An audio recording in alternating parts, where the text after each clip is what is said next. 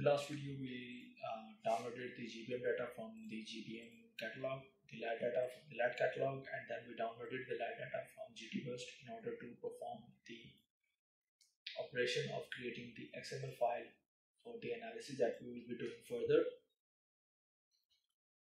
Um, we, as stated as well, the GTburst can also be used to view the detector angles from the source. We will do both of these particular things in this video. So let's first uh, load the data from directory.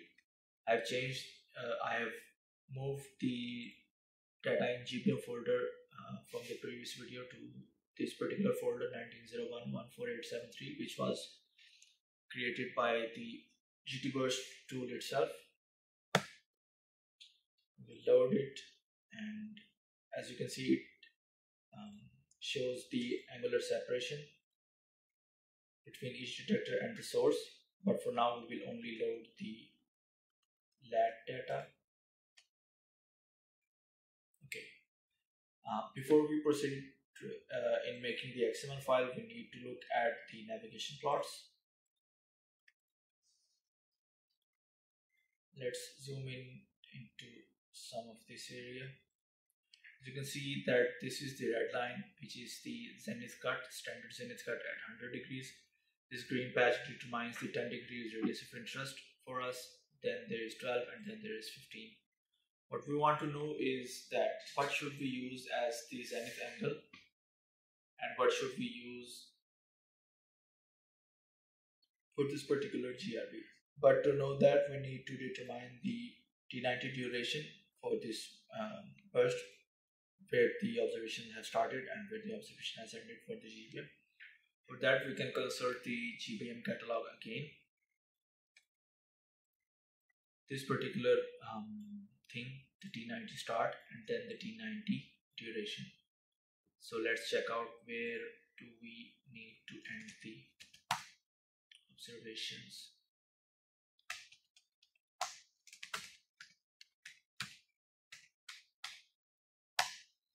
So we need to start from 0.704 and we need to end at 117.058.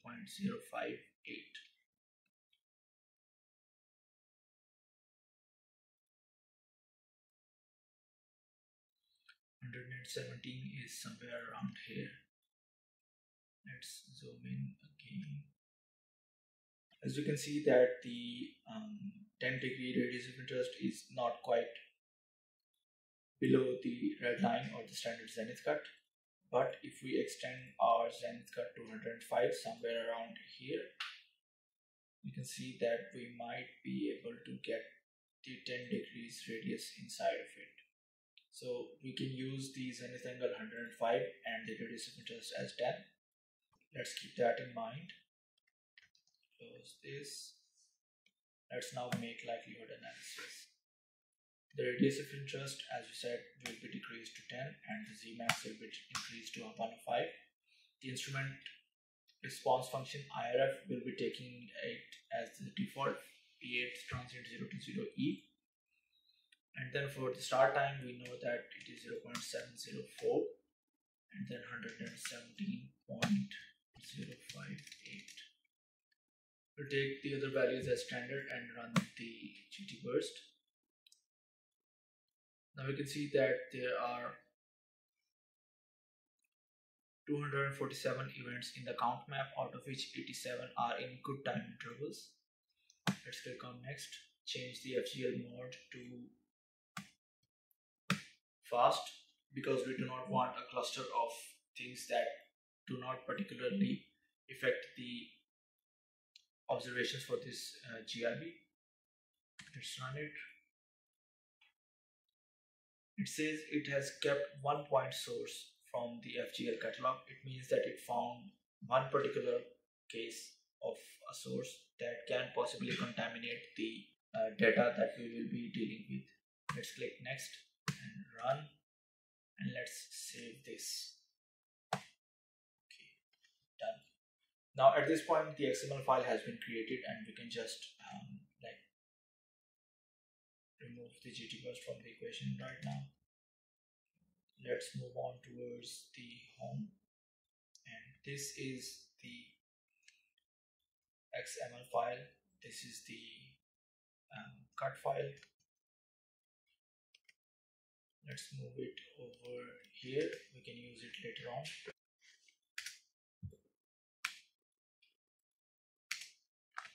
The next thing that we want to do is to generate the correct response and response file on the particular right ascension and declination provided by LAT. Now in order to generate the response and response to files for the GBM for the LAT corrected uh, right ascension and declination, we use a small script named RSP and RSP2 file generator script. Uh, but in order to use that, we need the GBM data. In particular, we need the FIT files for the detectors. Just take that.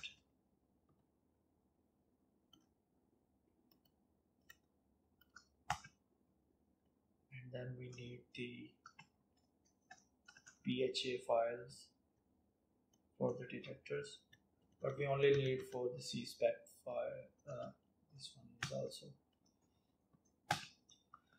and last but not the least we also need to the TRIGDAT and TCAT files. Let's copy them over here as well. Okay. Run the RSP file. Uh, 56.57 and oops negative 26.99 so it is now creating the response files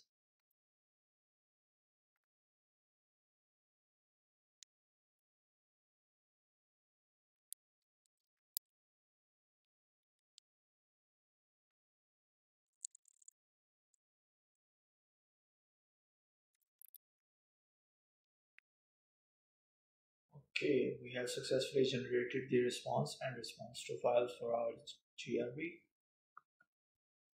Now moving on, we will now perform the LAT analysis on the LAT data that we have put up here for a while now. For that, we need an additional script.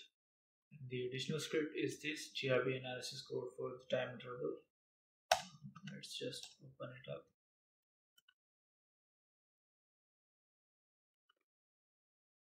Okay. So here we need the source name. We need the right ascension we need the declination roi source radius zmax and there are some other bunch of stuff that we need. So let's go on and fill the code. Now one thing that should be noted here is that the source name is in the letter format. However our XML model is not in that format so let's correct that. And also the source model file the XML file should be of this particular format. Now it is not necessary that it be this but the code is implemented for the XML file to be in this format so let's just not try to make errors in this. Let's just convert this grb c model pl2.xml and we will edit this again with the notepad.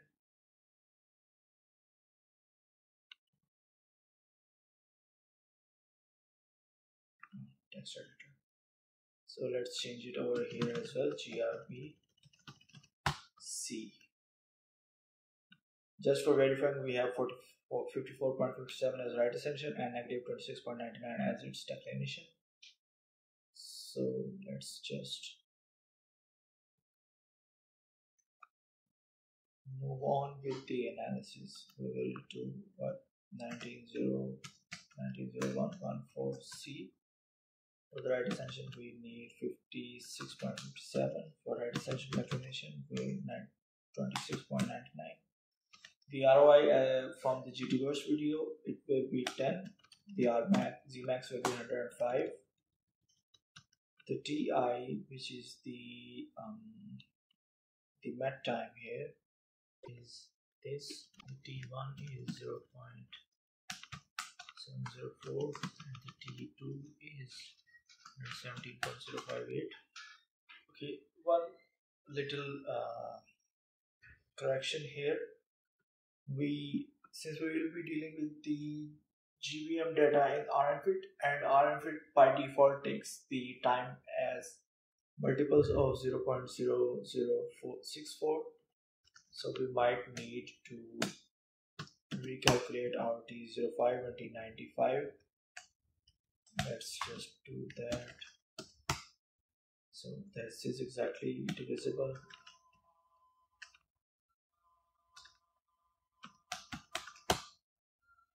slightly not visible so let's just multiply this and 056 this is done in order to not uh,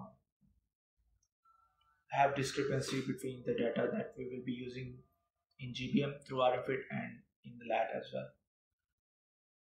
Now that we have fixed the time issue, there is uh, now the event file. The event file should be in a text format, whatever it is, and the spacecraft file should be of this format in order to uh, in order for the code to pick it up. So let's open the terminal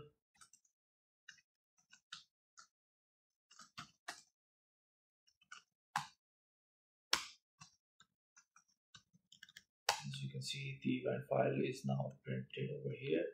Now let's change the spacecraft file to sc.fits uh, come back to our terminal and we will run the python code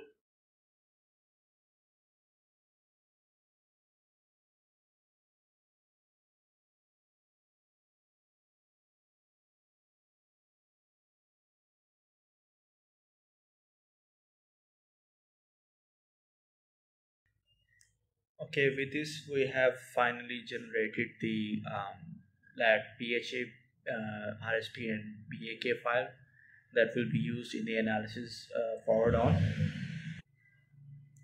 In the next video we will see how we can constrain the um, GBM data in time domain in energy domain how we can fit the background and how we can save the lookup files how we can read them using the RMFIT software